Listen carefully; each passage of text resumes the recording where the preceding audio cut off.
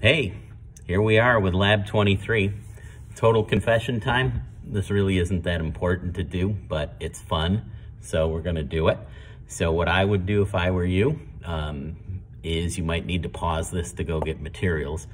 Um, and in the middle, I'll stop this, okay? And let you decide whether you're gonna do it yourself or just watch me do it. Boring, okay?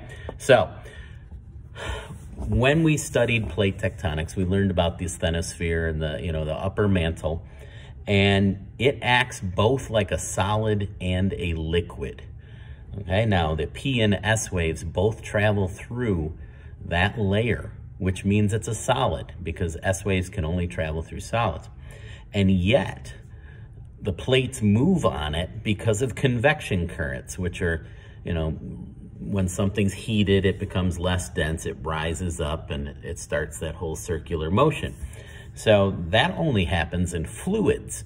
And by fluids, I mean um, either a liquid or a gas, okay? So some might wonder, how, how is this so? How is this so, Mr. May? And today we're going to look at a material that acts both like a solid and a liquid. Um, some of you have made this before, but um, we'll look at it maybe a little differently than you did before. Okay, so this is called a non-Newtonian fluid, okay? And Sir Isaac Newton wrote some rules about fluids, liquids and gases, and how they behave, and these don't follow all those rules, so it's called non-Newtonian fluids. Um, in elementary school, they make it, and they incorrectly call this oobleck because of the story Bartholomew and the oobleck. If you're not familiar with it, please get a copy um, and read it. So this is Dr. Seuss, and and they incorrectly called it oobleck because this doesn't act like oobleck at all. Okay, so it's just a cool word that they found and something kind of goopy. All right, so what we have is cornstarch and I have just a cup full of cornstarch. I don't have exact measurements because I don't work that way. So um, cornstarch, if you don't have it in the kitchen, um, it is a thickener, so some people probably use it for making gravies and stuff. Um, you can get it at a store, something like Tops or Dollar General, and maybe uh, at those it's like, last time I looked, I, I paid 179 uh, I have bought it since and not looked. It's probably around two bucks a box for a pound, and this is way less than a pound. Um, they may even have it at the Dollar Tree, and the price at the Dollar Tree is probably somewhere around a dollar, okay, plus tax. So, wait, it's food. It might not have tax, so it might be just a dollar. Okay, so here we have the cornstarch anyways, and I have some water. Now this is Warsaw water, so it's not looking so good. Actually, I added a little food coloring because white uh, non-Newtonian fluids are are more boring than purple non-Newtonian fluids, okay? So I put some food coloring in there and I got about a liter of water here. And what I'm gonna do is I'm gonna put about three quarters of that in. Okay, so I put about three quarters in. I'll move that back so hopefully you can see it a little bit. Um, it's dark. But. And then I'm going to stir, and I'm going to use a fork. Forks work just marvelously. And I'm going to pull it away from the sides. That's how you get it to mix, okay? And right now it's like almost dried cement. It's not, it's big chunks in there. So I already know I'm gonna add more water, but I'm gonna get it as mixed as I can. I can still see big globs of white in there, so I know it's not enough. Uh, put a bit more water in, not, not tons. I'm gonna go slow from here so I don't overhydrate. And I'm gonna pull from the sides. Ooh, almost made a mess. Oh, by the way, don't do this over mom's furniture or carpets, okay?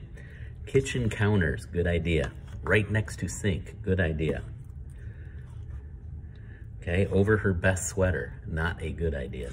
All right, so I'm gonna keep mixing. And right in the middle, I'm gonna notice that this is still a little chunky. Okay, so I probably just need a little splash more water and we're good to go. This is really a science, okay? Too thick.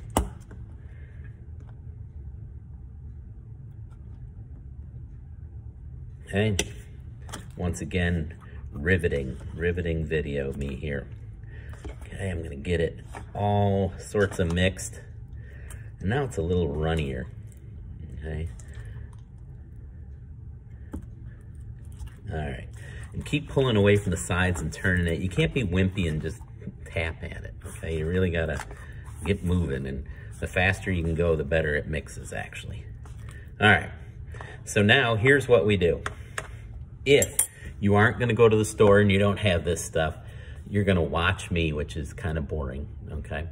And then uh, do the questions and all that stuff. If you're gonna mix it, why don't you pause it and go get the stuff and mix it. And I wouldn't even come back to this video. I would um, just do the procedure um, from the website, getting the procedure for this lab. Okay, I'm gonna show you what to do in case you're not gonna do it. All right, so I'll do the quick.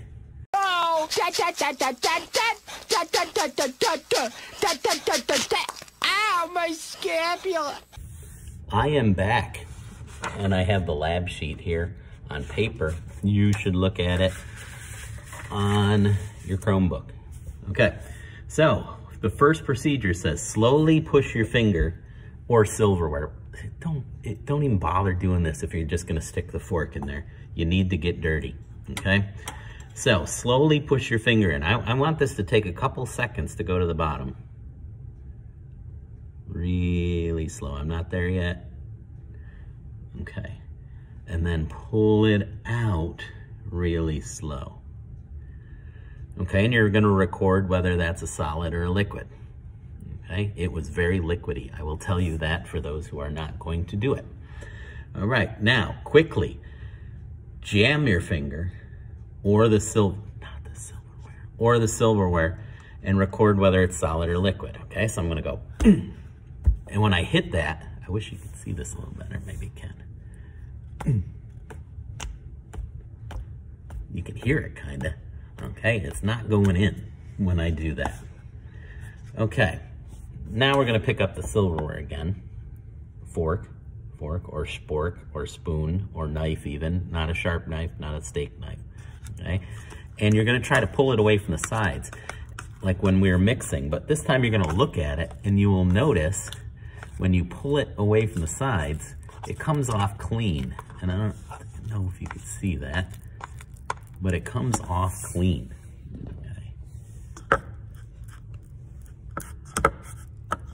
That wasn't too helpful. Okay, so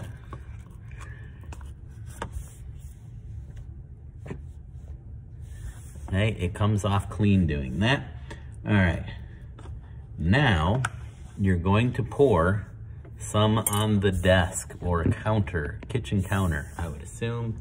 Let me get back where you can see it. And just do like a pancake size, a normal pancake, not the super pancake, not the dollar size, or you know, silver dollar size but a pancake size on your table here, okay? Now, uh, poke the surface rapidly. You can see me doing this. Okay, that kind of acts like a solid. Okay, since it's solid, I am going to pick it up. Ew, that doesn't work. Okay, all right, let's see. Okay, ready for this part? You gotta be fast. All right, we're gonna pick it up. yeah. Ready? Go back and forth. Get it loosened on the desk here, right? Go really fast back and forth. Scoop it up in your hand really quick and roll it.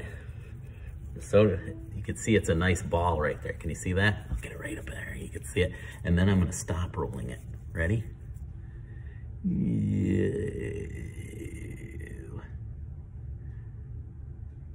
Isn't that awesome? I have some green here too, so you can see. Oh yeah, isn't that lovely? Okay, so now, wow, psychedelic, dude. All right, we have, that's the first seven procedures. Number eight is to play with it. It will get dry okay? And you can just top a tiny bit of water back to it. It'll keep going. Eventually it's gonna dry out. This isn't like long lasting slime or anything. But have fun playing with it. You know, you might wanna do some crazy stuff with it. Make a mess, all sorts of good stuff. It's fun, okay? And you'll have to say whether it acts solid as a lick or a liquid. And I think you'll find it does a bit of both, okay? And oh, hang on just a second.